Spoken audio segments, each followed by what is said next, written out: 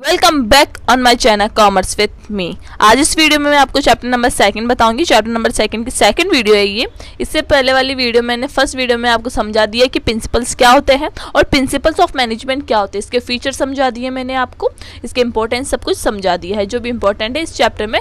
Serial wise में आपको ये वीडियोज़ डाल रही हूँ तो प्लीज़ कन्फ्यूज़ बिल्कुल मत होना। प्ले मिल जाएगी आपको क्लास ट्वेल्थ के नाम से। उसमें बीएससी का पूरा कंप्लीट हो जाएगा। तो प्रिंसिपल ऑफ़ मैनेजमेंट होता क्या? है मैं आपको शॉर्ट में बता देती हूँ। प्रिंसिपल ऑफ़ मैनेजमेंट का मतलब होता है कि मैनेजर को हेल्प मिलती है इन प्रिंसिपल्स के थ्रू डिसीज़न लेने में। जब कोई भी प्रॉब्लम आ जाए ऑर्गेनाइजेशन में, वही प्रिंसिपल्स ऑफ़ मैनेजमेंट होता है। ये जो प्रिंसिपल्स ऑफ़ मैनेजमेंट है, ठीक है? ये किसने दिए थे? दिए थे हेनरी फ्योल ने ये दिए थे। और इन्होंने बोला था कि ये फोर्टीन प्रिंसिपल्स के थ्रू क्या कर सकते हैं? मैनेजर डिसीज़न ले सकता है ऑर्गेनाइजेशन के लिए। आपको इतना क्लियर हो गया? ठीक है? तो पहला है आपका डिवीज़न ऑफ़ वर्क पहले फ्योल मतलब हेनरी फ्योल ने पहले प्रिंसिपल में बोला कि पहला प्रिंसिपल ये है कि डिवीज़न ऑफ़ वर्क कि वर्क को क्या कर देना चाहिए? बांट देना चाहिए छोटे छोटे स्मॉल पीस में बांट देना चाहिए। मतलब कि जो whole work should be divided into small task and assign to person according to the capacity capability मतलब जो वर्क है, उसे इस तरीके से बांट देना चाहिए कि उस काम को जो पर्सन कर रहा है, उसकी कैपेसिटी के अकॉर्डिंग हो कैपेबिलिटी के अकॉर्डिंग हो क्वालिफिकेशन मतलब उन्होंने जिस अकॉर्डिंग क्वालिफिकेशन की है, उसके अकॉर्डिंग उसे वर्क मिला हो और उसके एक्सपीरियंस के अकॉर्डिंग उसे वर्क मिला हो, ऐसा वर्क उसे देना चाहिए, जिससे क्या होगा? मतलब अगर आप ऐसा वर्क उसे देंगे तो इससे क्या होगा? उस पर्सन की उसका एक्सपीरियंस बढ़ेगा, उसका मोटिवेशन होगा और वो क्या हो जाएगा स्पेशलाइज्ड हो जाएगा उस पर्टिकुलर फ़ील्ड में। ठीक है, एक एग्जांपल लेके बताती हूँ मैं आपको, जैसे फाइनेंस डिपार्टमेंट होता है और आपका purchase department sales department production department ये डिपार्टमेंट्स होते हैं। अगर कोई कोई पर्सन है जिसने आप मार्केटिंग की है, ठीक है, उसने मार्केटिंग किए थे की है तो उसको वर्क इस टाइप का देना चाहिए, उसको वर्क मार्केटिंग के फ़ील्ड में देना चाहिए। जिससे क्या होगा, पहले से उसके पास क्या होगी क्वालिफिकेशन होगी उसको, उसके पास एक्सपीरियंस होगा उस फ़ील्ड में करने का, ठीक है? अगर उसको उस टाइप का वर्क दिया जाएगा उससे क्या होगा? उसका जो स्पेशलाइज तो वो है ही, उसके साथ साथ वो और स्पेशलाइज्ड हो जाता है और वो अपना, अपनी एफिशिएंसी अच्छी तरह दिखाता है अपने वर्क में, ठीक है? अगर उस मार्केटिंग के बंदे को अगर आप दूसरे फ़ील्ड में डाल देते हो फाइनेंस की फ़ील्ड में डाल देते हो, जहाँ उसे कोई भी, उसे पता नहीं है कि किस तरीके से डील करना है, किस तरीके से फाइनेंस का वर्क करना है तो वो क्या होगा? वेस्टेज होगा मटेरियल का वेस्टेज होगा रिसोर्सेज का तो इससे क्या होगा? आपका वेस्टेज ही होगा और उसे टाइम लग जाएगा वहाँ सेटल होने में। तो हैंड्री फ्योल यही बोलते हैं कि आपको वर्क को इस तरीके से बांट देना चाहिए छोटे छोटे टास्क में बांट देना चाहिए, जिसमें जो एक्स एक्सपर्ट है, उसे उसका उसका वही काम देना चाहिए। इससे क्या होगा? इससे देखो, इसका पॉजिटिव इफ़ेक्ट ये आएगा कि प्रॉपर यूटिलाइजेशन हो जाएगा रिसोर्सेज का। अच्छी तरह यूटिलाइज हो जाएगा रिसोर्सेज का, ठीक है? क्योंकि वेस्टेज नहीं होगा। सेकेंड होगा मिनिमम कम से कम कॉस्ट आएगी। उसे पहले से पता होगा कि किस तरीके से काम करना है, ठीक है? थर्ड आता है it increase efficiencies of employees employees की एफिशिएंसी बढ़ाता है, क्योंकि अगर वो वो पर्सन अगर उसी काम को बार बार परफॉर्म करेगा, उसी काम को करता जाएगा और वो उसी फ़ील्ड का है तो क्या होगा उसका? उसकी एफिशिएंसी भी बढ़ जाएगी। तो पहला आपको समझ में आ गया डिवीज़न ऑफ़ वर्क सेकेंड है आपका अथॉरिटी एंड रेस्पॉन्सिबिलिटी मैंने हिंदी में लिख दिया। अथॉरिटी का मतलब होता है ताकत। और रेस्पॉन्सिबिलिटी का मतलब होता है ज़िम्मेदारी, ठीक है? अब हैंनरी फ्योन ने बोला कि आपने वर्क को बांट दिया, आपने छोटे छोटे पार्ट में बांट दिया, उसे, उसका काम दे दिया। अब आपकी ये अथोरिटी बनती है, आपकी ये रेस्पॉन्सिबिलिटी बनती है कि जिस पर्सन को आपने जो काम दिया है, उसे कुछ पावर भी दो। ठीक है? अगर आपने काम दे दिया कि आप ये काम कर सकते हो, ठीक है? और आपने पावर नहीं दी तो क्या होगा? वो काम ढंग से नहीं हो पाएगा। उन्होंने उसे रेस्पॉन्सिबिलिटी नहीं दी, उसे ज़िम्मेदारी नहीं दी तो उसका काम सही से नहीं हो पाएगा। तो आप समझते हैं कि अथॉरिटी का मतलब होता है पावर टू टेक डिसीज़न कि जिसके पास पावर हो डिसीज़न लेने की, उसे क्या बोलते हैं? अथॉरिटी बोलते हैं। और रेस्पॉन्सिबिलिटी ये होती है obligation to carry out an assign job जो भी काम दिया गया है, उस काम को करना ही रेस्पॉन्सिबिलिटी होता है एट टाइम पे। मतलब उस टाइम अगर जो टाइम दिया गया है, उस टाइम पे अगर वो काम पूरा कंप्लीट कर लेता है, उस जॉब को कंप्लीट कर लेता है तो उसकी पूरी ज़िम्मेदारी कंप्लीट हो जाती है। रेस्पॉन्सिबिलिटी कंप्लीट हो जाती है। तो फैंडिफोली कहता है कि जब किसी को अथॉरिटी देते हैं तो उसके साथ साथ उसे रेस्पॉन्सिबिलिटी भी देनी चाहिए। दोनों बैलेंस होकर चलना चाहिए। अगर आप एथोरिटी दे देते हो और रेस्पॉन्सिबिलिटी नहीं दे, देते हो तो उससे भी मिसयूज़ होगा रिसोर्सेज का। अगर रेस्पॉन्सिबिलिटी दे देते हो और एथोरिटी नहीं देते हो तो उससे भी वेस्टेज ही होगा, क्योंकि आपने रेस्पॉन्सिबिलिटी दे दी। कि आपको ये काम एक दिन में कंप्लीट करना है एक दिन में वन टन आपको प्रोड्यूस करना है। पर आपने उसे पावर नहीं दी कि कि आपको आपने उसे पावर नहीं दी कि आप कोई भी डिसीज़न ले सकते हो उससे रिगार्डिंग मतलब आपने बोल दिया कि आप ये मशीन यूज़ में ले सकते हो पर आ, उसे पावर नहीं दी कि आप है ना ये काम वर्कर से करवा सकते हो। आपने ये अथॉरिटी नहीं दी उसे। तो इससे क्या होगा? इससे क्या होगा आप बताओ?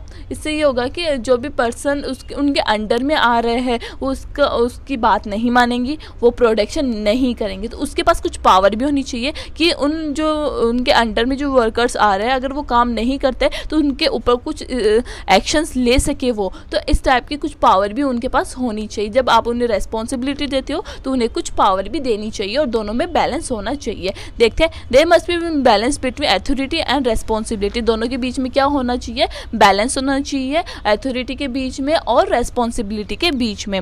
He must be given sub authority to do his work efficiently ठीक है? उसने उसे क्या देना चाहिए? कुछ अथॉरिटी प्रोवाइड करनी चाहिए अपने जॉब से रिलेटेड ठीक है? Granting authority without giving responsibility अगर आप अथॉरिटी दे देते हो बिना किसी रेस्पॉन्सिबिलिटी के तो will create chances of misuse the power इससे क्या होगा? वो अपना पावर का मिस करेगा और वो काम नहीं करेगा। And not able to perform perform duty perform properly ठीक है? वो अपना ड्यूटी प्रॉपरली परफॉर्म नहीं करेगा, ठीक है? अब इसका क्या इफ़ेक्ट आएगा? वो इससे क्या होगा? इसका नेगेटिव इफ़ेक्ट क्या आएगा? अगर आप ऐसा नहीं करते, बराबर अथॉरिटी और रेस्पॉन्सिबिलिटी नहीं देते हो तो क्या होता है? मिसयूज़ ऑफ़ अथॉरिटी मतलब जो उसे पावर की है, वो अपनी पावर का क्या करता है? मिसयूज़ करता है, ठीक है? Build safeguards against the abuse और marginal power and manager give the power to fulfil their response sorry power to fulfil their duty और उससे क्या होगा? जो मैनेजर होगा, वो अपना पावर ही यूज़ में लेता जाएगा और जो बाकी के जो एम्प्लॉयज़ हैं उनको क्या उन, उन, उनका क्या होगा? उनका उनकी रेस्पॉन्सिबिलिटी सही वक्त पे काम कंप्लीट नहीं हो पाएगी। तो हैंडीफेल बोलता है कि जब आप अथॉरिटी देते हो तो उसके साथ कुछ रेस्पॉन्सिबिलिटी भी देनी चाहिए। थर्ड पॉइंट ऑफ़ हैंड्रीफॉनल क्या बोलते हैं? वो थर्ड पॉइंट में ऐसे बोलते हैं कि आपको आपके ऑर्गेनाइजेशन में क्या होना चाहिए? डिसिप्लिन होना चाहिए। ये वाला टॉपिक मैं आपको जल्दी समझाऊँ क्योंकि आपको सबको पता होगा डिसिप्लिन का मतलब क्या होता है। ठीक है? तो डिसिप्लिन का मतलब होता है कि जो भी आप ऑर्गेनाइजेशन में काम कर रहे हैं पीपल्स काम कर रहे हैं या और कोई पर्सन काम करते हैं तो तो ऑर्गेनाइजेशन में क्या होना चाहिए? डिसिप्लिन होना चाहिए। जिससे क्या होगा? कोड ऑफ़ कंडक्ट होगा रूल्स एंड रेगुलेशंस होनी चाहिए।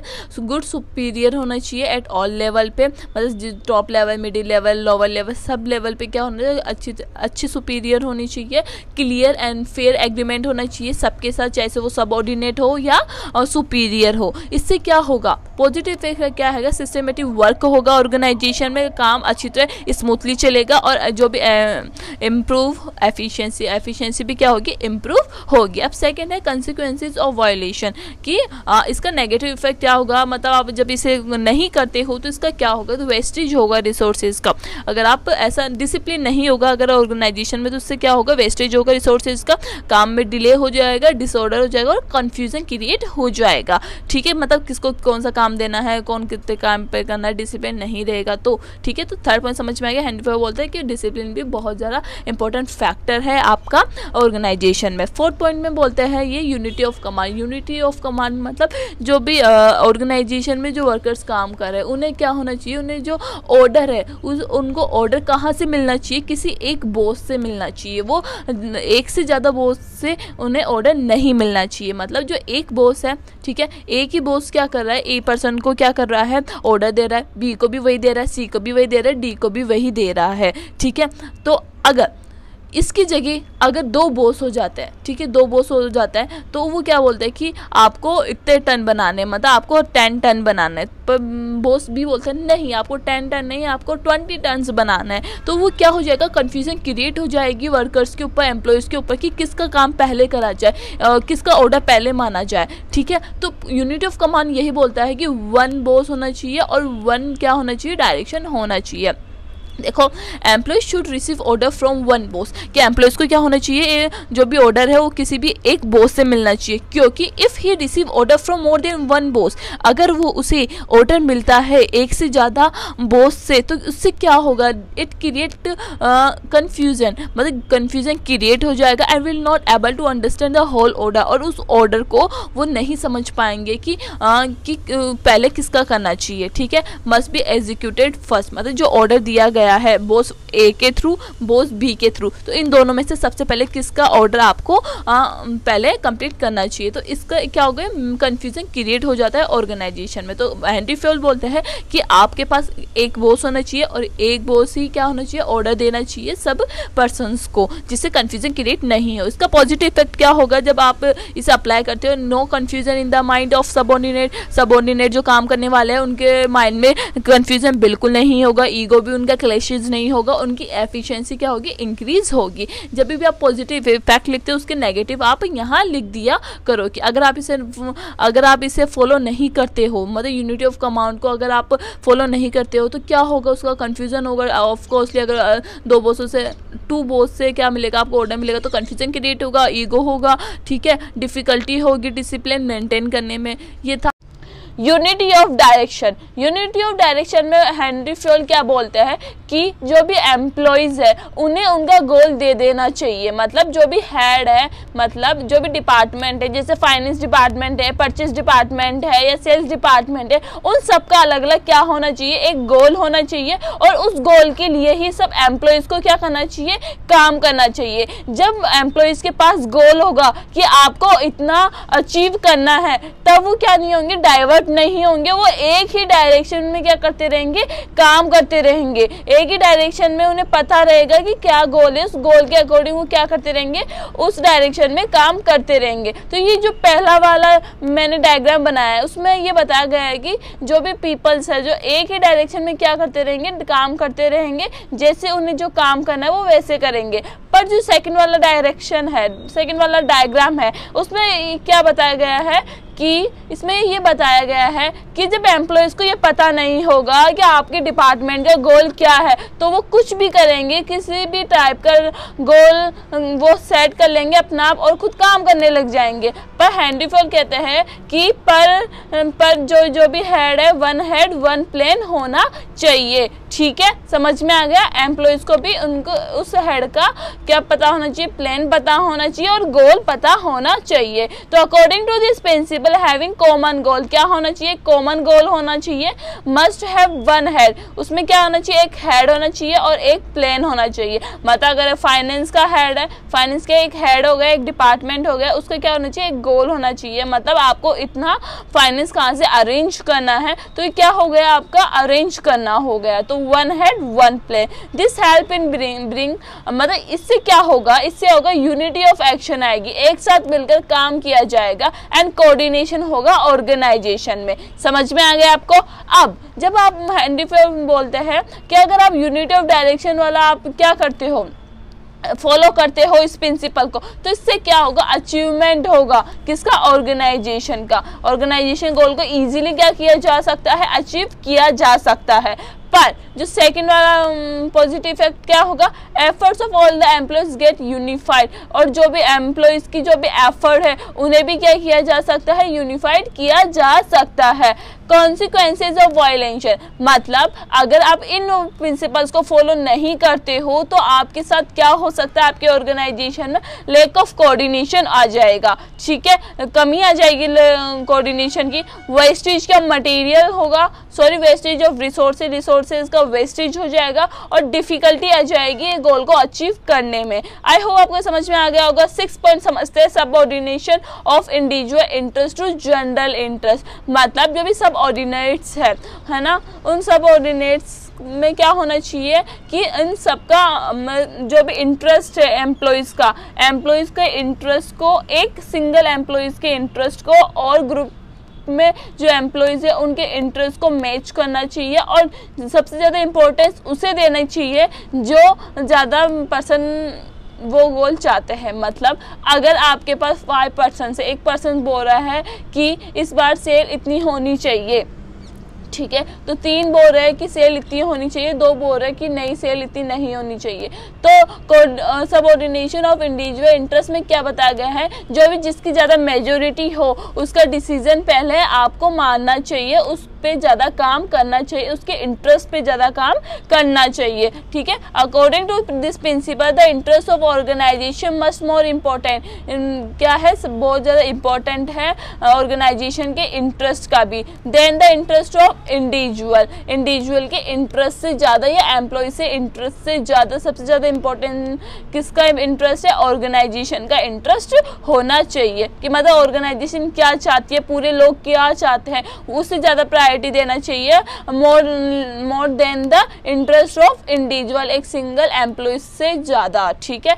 अगर आप इसे फॉलो करते हो, इस प्रिंसिपल को फॉलो करते हो तो क्या होगा? इसका पॉजिटिव इफ़ेक्ट इसका पॉजिटिव इफ़ेक्ट ये होगा कि आपका जो गोल है ऑर्गेनाइजेशन का, वो अचीव हो जाएगा और कोऑर्डिनेशन भी रहेगा इंडिविजुअल में भी और ऑर्गेनाइजेशन गोल में भी। Remuneration of person remuneration of person में यहाँ बोला गया है फैंडिफेयर बोलते हैं कि जो एम्प्लॉयज़ है, आपके ऑर्गेनाइजेशन उसमें उन्हें क्या होना चाहिए? उन्हें फेयर वेजेस मिलनी चाहिए और उन्हें फेयर सैलरी मिलनी चाहिए अकॉर्डिंग देयर वर्क उनका जैसा काम है, उसके अकॉर्डिंग उन्हें फेयर वेजेस और सैलरी मिलनी चाहिए। जैसे अगर कोई पर्सन आपकी कंपनी में आता है किसी भी पोस्ट के लिए तो आपको उससे पूछना चाहिए कि आप कितनी सैलरी एक्सपेक्ट कर रहे हो। जैसे उसने बताया टेन थाउज़ेंड रुपीज़ तो टेन थाउज़ेंड रुपीज़ से ज़्यादा उसे पे करना चाहिए, क्योंकि इससे क्या होगा, वो क्या होंगे मोटिवेट होंगे और वो अच्छा काम करेंगे। अगर आप उसे कम दोगे तो उससे क्या होगा? वो काम तो करेगा पर उतना अच्छी कैपेसिटी से नहीं कर पाएगा जितना वो आप उसे इलेवन थाउज़ेंड रुपीज़ दोगे तब कर पाओगे। तो हैंडी फेयर बोलते हैं कि उन्हें क्या करना चाहिए? उनके वर्क के अकॉर्डिंग फेयर और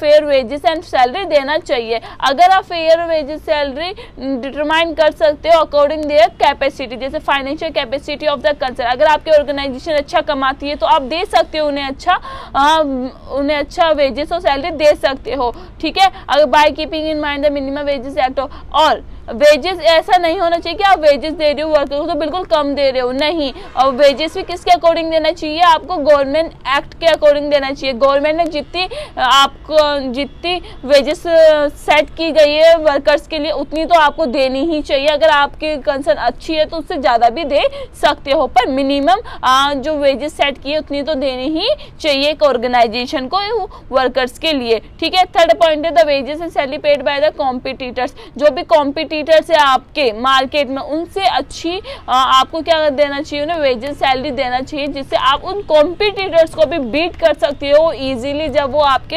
वर्कर्स और एम्प्लॉयज़ अच्छे होंगे। तो आई होप आपको रेमोनेशन ऑफ़ पर्सन समझ में आ, आ गया होगा।